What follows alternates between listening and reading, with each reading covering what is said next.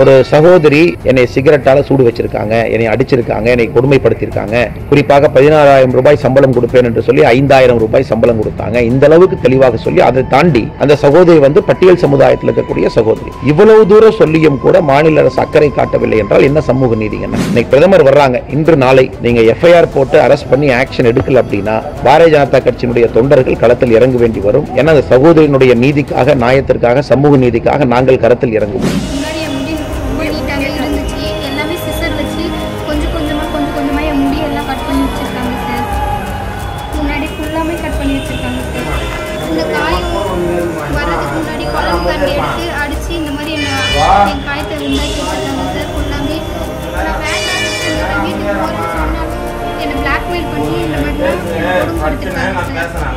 தற்போது வரைக்கும் அந்த பல்லவரம் எம்எல்ஏ ஒரு மருமகன் தற்போது வரைக்கும் காவல்துறை நடவடிக்கை எடுக்காம இருக்காங்க. அண்ணே அந்த பல்லாவரம் எம்எல்ஏ கருணாநிதி அவருடைய மகன் வீடு இந்த பகுதியில் இருக்கு. இதே ஏரியாவில் தான் அவங்க மகன் இருக்கிறாங்க.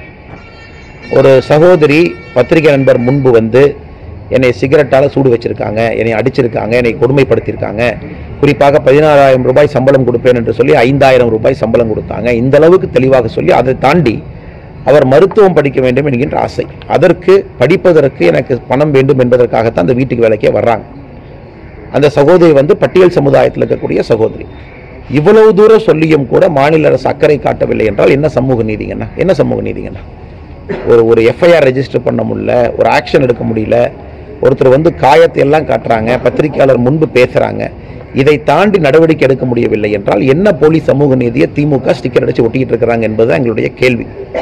அதனால் எங்கள் நாங்கள் தெளிவாக இருக்கின்றோம்.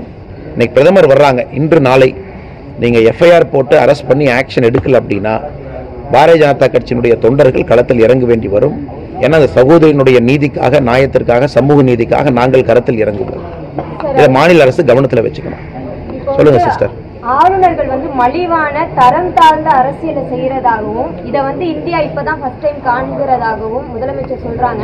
போட்டி அரசியலை இப்படிதான் முன்னெடுக்கணுமா அப்படின்ற ஒரு கேள்வியையும் முன்ன முன் வச்சிருக்காரு. இதை நீங்க என்ன சொல்றீங்க? மாண்புமிகு முதலமைச்சர் அவர்கள் என்ன தரம் தாழ்ந்த வேலையை ஒரு ஆளுநர் செய்திருக்கின்றார் என்று குறிப்பிட வேண்டும்.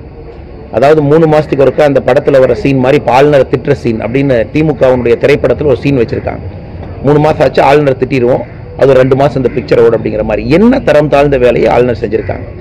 சேலத்திலே பெரியார் பல்கலைக்கழகத்தினுடைய துணைவேந்தருடைய வீட்டுக்குள்ளே பூந்து ரைடு பண்ணி அவரை கைது செய்து அவரை ஆறு மணி நேரம் சேலம் ஃபுல்லாக சுத்த விட்டு எந்த குற்றமும் செய்யாதவரை எல்லா பக்கம் இழுத்துட்டு போகிறாங்க ஸோ இது வந்து ஒரு பல்கலைக்கழகத்தினுடைய துணைவேந்தரன் மீது நீங்கள் எங்கள் பேச்சை கேட்கலீன்னா எல்லாருக்கும் இதான் நடக்கும் என்று திமுக இன்டைரக்டாக சொல்லியிருக்கக்கூடிய வார்னிங் மாதிரி சேலம் துணைவேந்தரை பெரியார் பல்கலைக்கழகத்தினுடைய துணைவேந்தர் அவங்க முன்னாடி நின்றுருக்காங்க இன்றைக்கி ஸோ இதுதான் கருத்து சுதந்திரத்தை ஒரு குரல் விலைய மலிவான அரசியல் செய்வது. இதுதானோ தவிர ஆளுநரை பயமுறுத்துவதற்காக துணைவேந்தரன் மீது காவல்துறையை ஏவி விட்டு முதலமைச்சர் அவர்கள் நடவடிக்கை எடுத்துட்டு இருக்கிறாங்க.